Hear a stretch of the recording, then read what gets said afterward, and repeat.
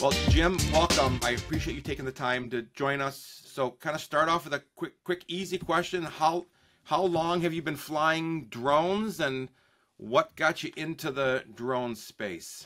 Five years I've been uh, flying drones, and uh, what happened is uh, the company I worked with, I worked with a with a fellow who um, who had a drone, and I knew nothing about drones or really much about RC. So uh, one day at lunch, he said, "Hey, let's go fly my drone." I said, "Okay." So we went. We we were in a business park that was almost like a state park. So he launched that drone. I thought it was pretty neat. And he says, "Well, you're going to get one." I said, eh, "Probably not. You know, I have I do other things." But he said, "Well, you know, we can make money with drones." And I, all of a sudden, I had some interest, and that's uh, that's when I started flying. But uh, I went from the very beginning not to do it for fun, but do it for a business full charge ahead, look into how to how to get it going.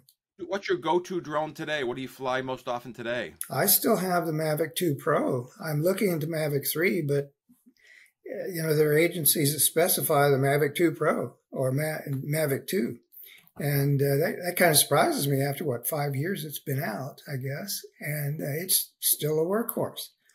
Now, like I said, I am looking at the Mavic 3 fairly seriously, but I'm still able to use uh, the Mavic 2. I'll tell you, we, we've interviewed probably five pilots in the last couple of weeks, and I was shocked because I Tony keeps track of you guys better than I do, but I was shocked. Um, three of the five pilots, no, four of the five pilots that I interviewed had upgraded to a Mavic 3 Enterprise, and it's like, man, I had no idea there were that many people with a Mavic 3 Enterprise, and they were speaking highly of, about it. Well, that would probably be my choice. At least one of the Mavic 3 models. I'm not quite sure which one, but well, they're, they're they're gorgeous. They, they look great. You've been flying for so business for business for five years.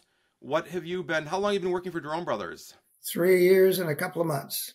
Uh, April thirteenth of of uh, twenty one is the first thing I have in my logbook, and I've kept a logbook from the very first very first flight of drones. It comes along with being a private pilot for 42 years. So, can you share what, what what are some of the kind of the benefits of working with? I know there's a lot of drone service providers out there and nationwide networks. What's what are some of the benefits of having worked for Drone Brothers for the last couple years? And are some things that you've learned and from our team that have kind of helped you out? I had up to as many as five agencies that I was doing work for, you're always been number one. And I can tell you why. First off, your support is, is fabulous. If I have a question, boom, I can get an answer. And I can get an answer from you or Tony or anybody on your team right away. Um, there have been times when I've, there's one agency, for example, they don't have a telephone number for support. So if I'm out in the field and I have an issue, which has happened a few times, I don't know when I'll get a call back. One time it was five hours before I got an email because they don't have a telephone for us to use. But you guys are immediately on the spot. You're very professional. Um, I've learned a lot working with Drone Bros, and uh, you're uh, you're my number one. What impact do you think drones are having in the construction industry, and kind of what do you see happening in the next couple years with drone technology and the construction space? Well, I, I think it's going to, I think it's a rapidly growing field as far as from what I can see from here. I see more and more requests for drones to do uh, volumetrics for raw materials, gravel, coal, uh, gravel, asphalt, uh, sand, that sort of thing in construction, uh, construction areas. Um, the idea of being able to show progressive uh, photos and videos uh, like we do is to me is uh, outstanding.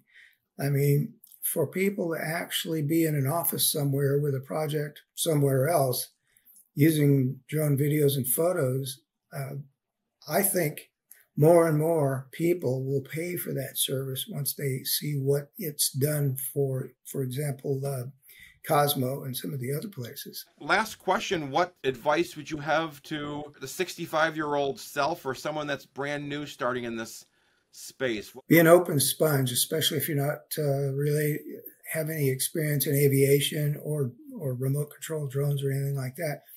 Just be a, a sponge and soak up everything you can find about it. And uh, I also uh, got on board with everything as far as the FAA has about drones, and they have regular seminars, webinars rather, about drone flying laws, et cetera. And of course, being a private pilot, I knew a lot of it, but I still learned a lot.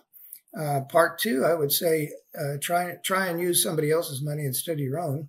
I mean, it's okay to self finance, but it, would be even better to go to a, uh, you know, have if you don't have a, a good bit of money to invest, um, go to a bank or something. And as far as the drone equipment, get good stuff. Don't don't forget to get licensed. Uh, be sure and have plenty of insurance, and keep a logbook. And those are the three things that, that I have a few few things that I could offer. Because um, you know, if anything does happen, there's a mishap or something, or somebody gets hurt, the the, uh, the logbook's going to help out, especially if you uh, record all of your upgrades, the firmware, et cetera. I think that's uh, that'd be a good thing to do.